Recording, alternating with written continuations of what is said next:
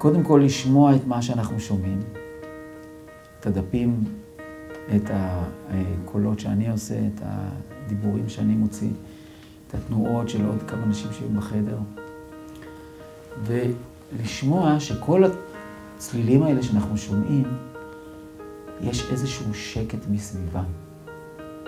ואנחנו יכולים גם להקשיב לשקט שמכיל את כל הצלילים האלה שאנחנו שומעים.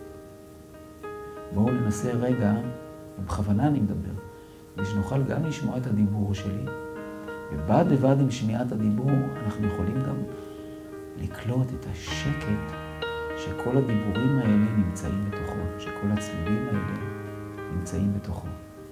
זה תרגיל שאנחנו יכולים להשתמש בו הרבה פעמים, לפני, תוך כדי או אחרי ההרפאיות שאנחנו עושים, בשביל לקבל פרופורציה. ובעצם לקלוט את הניגודים של מה שאנחנו קולטים, ומה שהעולם, כל ההוויה שהעולם שלנו נמצא בתוכו. זה יכול להיות קודם כל על ידי שמיעה, פשוט להקשיב לשקט שבתוכו נמצאים הצלילים. thank you